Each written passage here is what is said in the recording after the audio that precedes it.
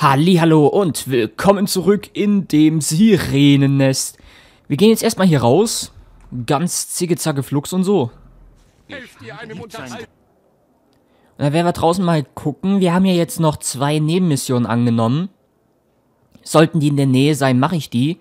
Ansonsten nehmen wir uns nämlich erstmal was ganz anderes vor. Was haben wir denn hier? Ja, das dachte ich mir nämlich. Wir müssen bis sonst wohin für die Aufgaben. Was ist denn das da? Hä? Lass mich hier ruf.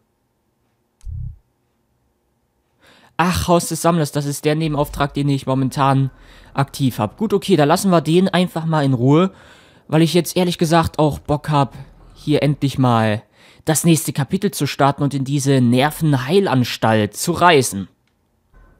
Was immer mich da auch erwarten wird. Es wird nicht schön sein. Ah, kann's losgehen?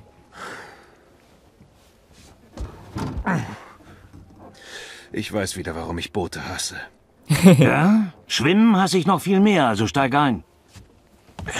Nein, ich rudere. Du ruderst ungefähr so gut, wie ich tanze. Klar.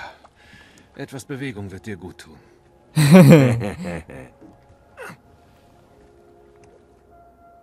Na gut, wollen wir doch mal sehen. Dank dem General war die Flucht aus der Festung äußerst knapp. Meine Hand ist der beste Beweis dafür. Jedenfalls war es eine Überraschung im großen Tresor einen Teil des Urkraftsteins zu finden. Ich hatte seit dem Unfall nicht mehr daran gedacht. Es ist schwierig zwischen Geistern und Götzen einen klaren Kopf zu bewahren. Wer hat Erin... Ach Mann! Na, vielleicht sterben wir ja, da können wir es weiterlesen. Oh, das ist aber düster hier und nebelig. Und äh, was hat Aaron jetzt mit Moira zu tun? Glaubst du an Geister? Hä? Geister. Äh, also die Toten kommen zurück als Heimsuchung. Als Strafe. Du glaubst, Aaron sucht dich heim? Ich weiß nicht, vielleicht. Na, also ich denke schon, ich habe da schon so einiges erlebt. Und die Schwermut wird es wohl nicht sein. An ein Ritual. Irgendeine Explosion. Aaron starb. Das vergesse ich nie. Und alles andere ist... weg. Ach komm schon, Garrett. Du hättest das Mädchen niemals in Gefahr gebracht. Das war sie doch mit Sicherheit selbst. Klar, aber trotzdem. Man wird ja wohl mal ein bisschen traurig sein können. Ich hoffe, die Anstalt ist noch in Betrieb. Ich hasse nämlich so... Oh, kennt ihr das aus Horrorfilmen? Nervenheilanstalten und Gefängnisse, wenn die so leer stehen, die Gitter verbogen. Uah. Ein paar Boote kamen rein. Nichts kam heraus. Bitte? Garrett. Ich wusste es. Das läuft garantiert darauf hinaus. Willst, aber sei vorsichtig. Werd nicht selbst ein Geist. Ich war schon immer ein Geist.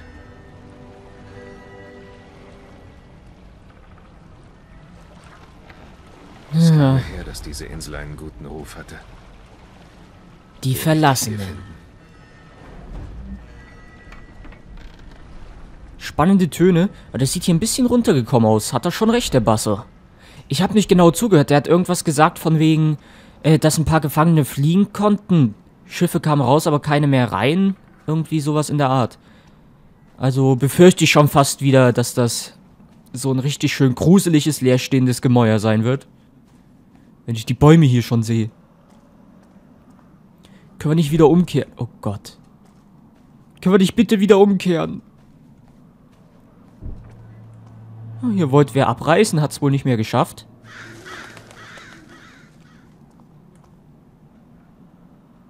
Keine Lichter, ihr wisst, was das heißt. Warum immer ich? Boah, die haben noch schnell versucht, alle abzuhauen von der Belegschaft. Was ist das? Das ist nur eine Kiste.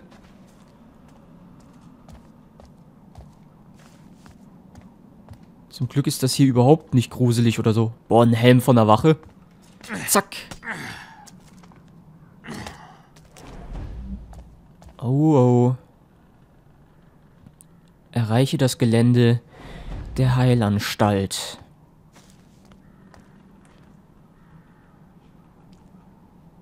Habt ihr das gehört?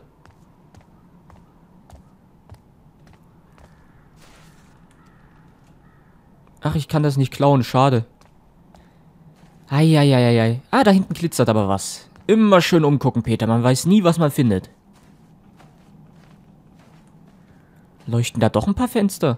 Na, ich weiß ja nicht. Wir haben auch wieder viel Gold. Wir sollten irgendwann mal wieder zur Königin der Bettler rüber. Die hat bestimmt noch ein paar schöne Fokuspünktchen für uns über.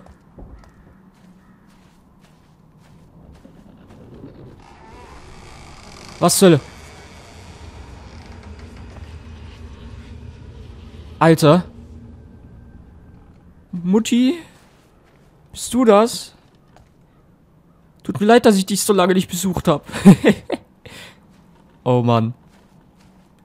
Hier steht ein Rollstuhl rum. Uh, da glitzert was, da glitzert was. Inventar voll und was ist das Feines? Schafffigur. Äh. Gott, muss ich da echt... Ähm... Hm. Okay. Ich werde offenbar erwartet. Alter!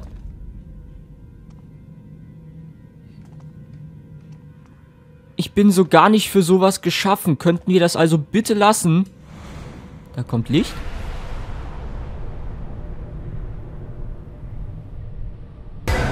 Oh! Alter!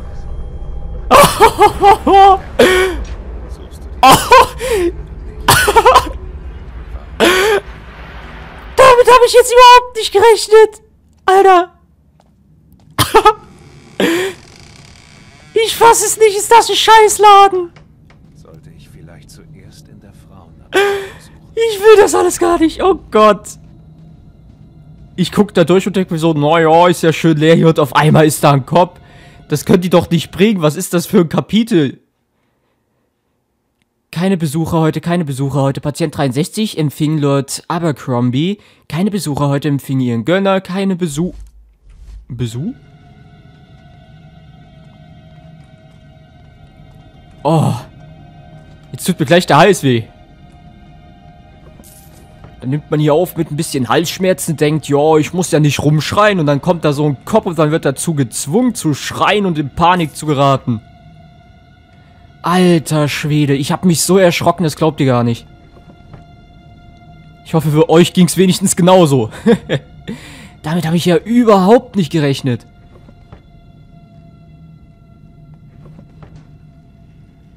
Oh, mir geht immer noch das Herz. Ich bin für sowas nicht geschaffen. Ich bin ja auch jemand, der selbst bei leichten Horrorfilmen schon recht aktiv wird. Deshalb ist sowas überhaupt nichts für mich eigentlich. Waren wir auf der anderen Seite schon? Oh, verflucht. Mann. Wenn das noch ein paar Mal geschieht, dann könnt ihr mich wegwerfen.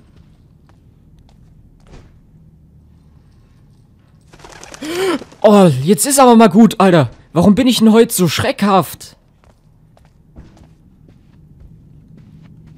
Boah, es ist doch noch gar nichts groß gewesen. Ich habe nur den üblichen Geist gesehen, den ich schon öfters mal hatte.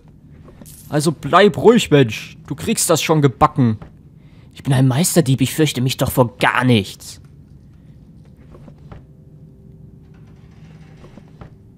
Oh, ich hasse so le... Oh, wie ich das hasse. Können hier nicht einfach ein paar Wachen sein und alles noch in Betrieb und so? Das fände ich um einiges angenehmer. Ich gehe nicht mehr in die Nähe von der Tür. Wenn hier nur Türen sind, ne, dann ist das Let's Play jetzt halt vorbei. Was zur Hölle? Ist das eine Drehtür? Das ist eine Drehtür. Nichts da. Meins.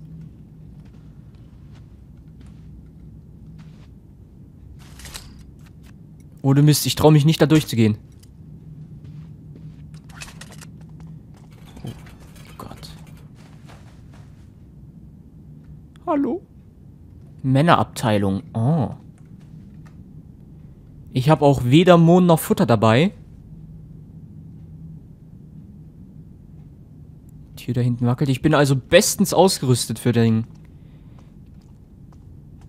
ganzen Zamon hier.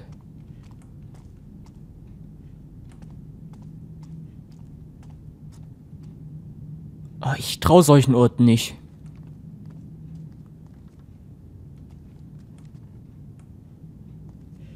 Ganz und gar nicht, offen gesagt. Huiuiui. Was haben wir denn hier Feines? Ein Seilpfeil, so. Was Besseres habt ihr wohl nicht gehabt?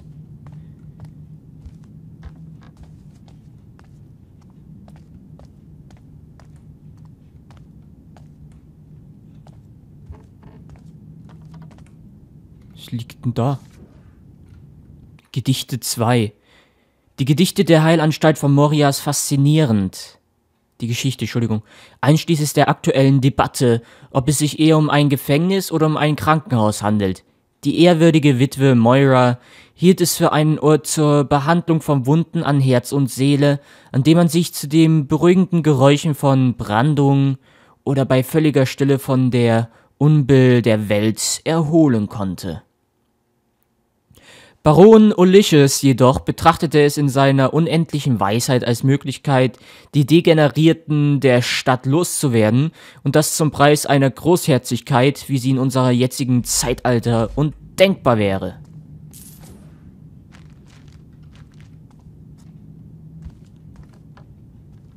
Irgendwer wollte, dass von da unten nichts hochkommt. Ich krieg jetzt langsam wirklich Angst, weil ich mich noch dran erinnern kann, als wir unter dem Bordell waren, als da dieses Vieh rumgeschlichen ist. Wenn es solche Viecher in diesem Spiel gibt, will ich nicht wissen, auf was wir hier noch alles. Ich, ich würde am liebsten das Schlüsselloch gucken, aber ich traue mich nicht.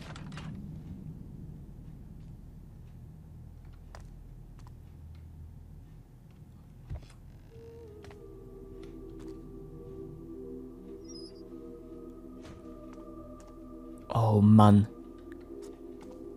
Ich gehe gerade echt auf dem Zahnfleisch. Ich bin hier total in Panik. Ich habe so Schiss, dass hier gleich irgendwas kommt und mich wieder mal erschrecken will. Ah, guck mal, Schieber.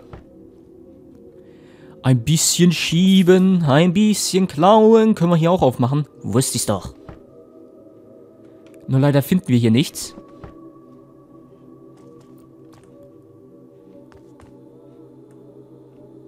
Ähm...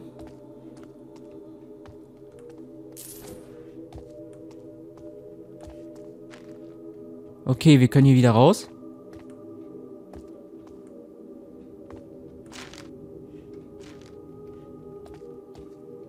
Warum zur Hölle sind wir allein? Schon allein diese Rollstühle, die haben... Die haben so eine gruselige Wirkung. Oi, oi, oi. Also ohne Mist, wenn mir hier irgendwas entgegenkommt, vergesse ich meinen Kodex und töte es. Sofern das möglich ist.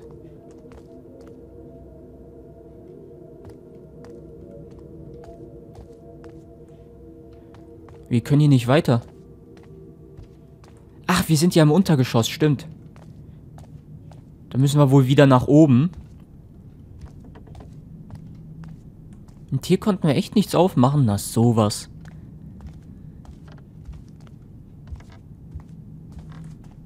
Hallo, Maus. Beziehungsweise Ratte. Meins? Ach, noch ein Seilpfeil, das ist aber nett. Bericht über Durchbelüftung. Patient 63 ist aus ihrer Isolation entschlüpft und hat Aufruhr in der Männerabteilung verursacht. Bewerkstelligt hat sie das anscheinend über die Belüftung in den Duschen, die mittlerweile mit Gewindeschrauben versiegelt wurden. Weitere Beobachtungen müssen zeigen, ob diese Maßnahme erfolgreich war oder nicht. Hm.